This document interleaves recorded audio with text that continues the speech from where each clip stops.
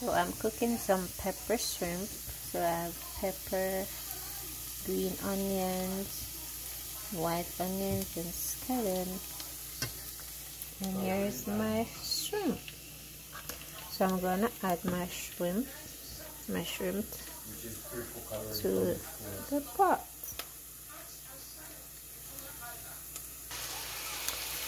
So I had the shrimp to the pot, so I'm gonna stir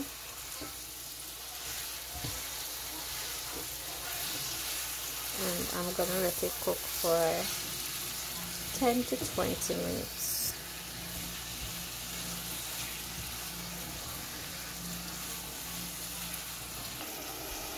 So I'm gonna add a little bit of water to it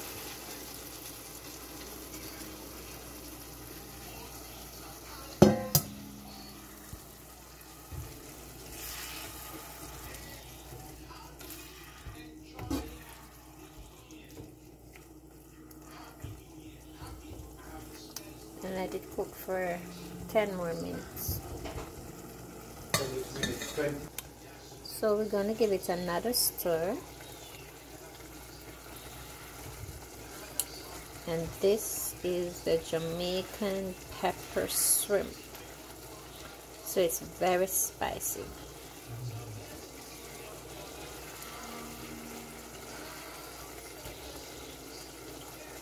So I'm gonna let it cook for five more minutes. And then I'm gonna add some more pepper to it because it has to be very spicy. Because it is pepper shrimp. Guys it is so delicious. So I'm gonna add some more pepper to it. For the finished touch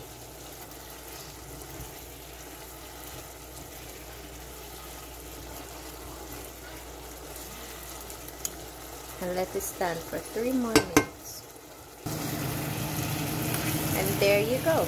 It's finished.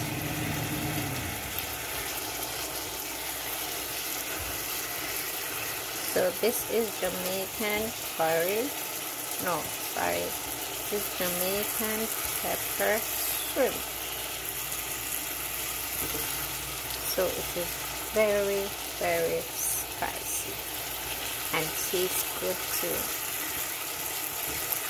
And if you're afraid of the spice, you don't have to put too much pepper. You can cut down on the pepper.